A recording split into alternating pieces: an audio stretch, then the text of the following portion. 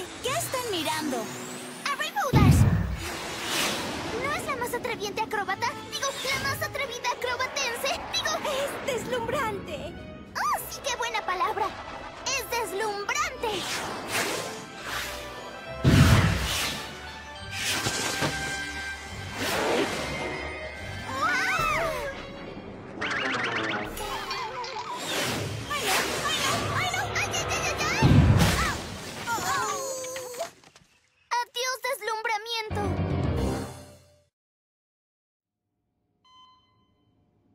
¿Se va a poner bien?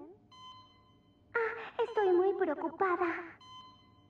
¿Así le va a quedar la cara?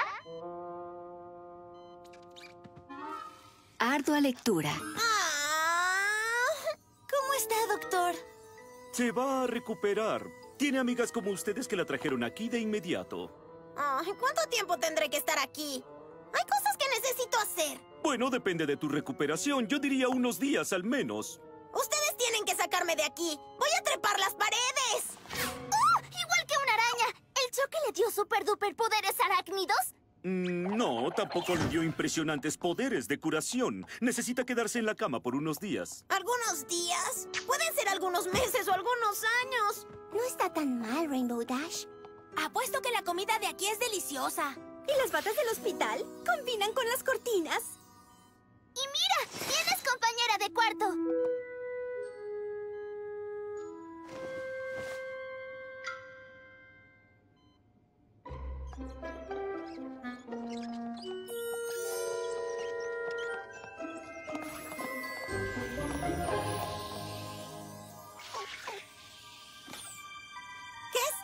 esto?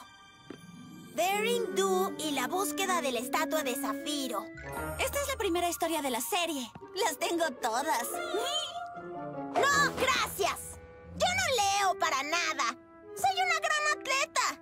La lectura es para cerebritos como tú, Twilight. Ah, No te ofendas, pero yo no voy a leer. Es innegablemente, incuestionablemente, poco genial.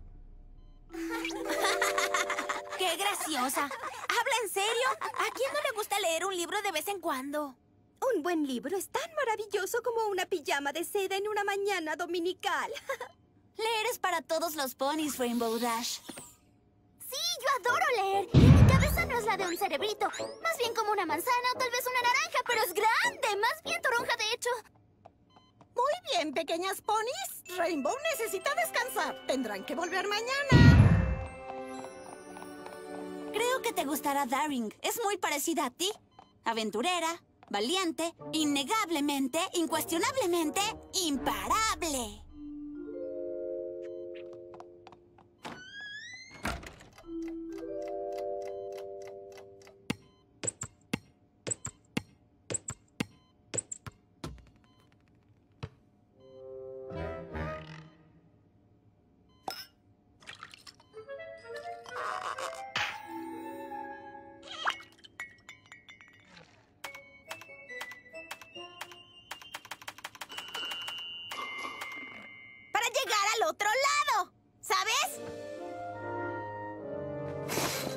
Olvídalo.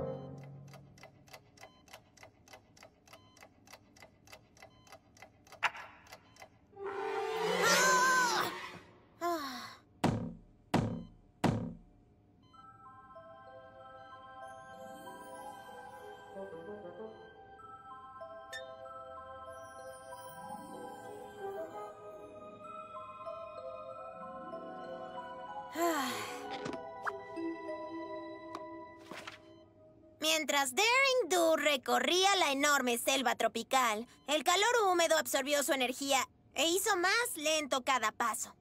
Si tan solo pudiera escapar de esa opresiva atmósfera y volar hacia el refrescante cielo azul. Pero su aterrizaje forzoso en la selva había lastimado su ala y se quedó varada por algunos días. Algunos días. Bien podrían ser algunos meses. O algunos años. Ay, te comprendo, hermana. Los mosquitos zumbaban fuerte. Las guacamayas gritaban en lo alto de los árboles. Aunque todos esos ruidos distractores no eran suficientes para cubrir el sonido de los depredadores que la seguían a cada paso.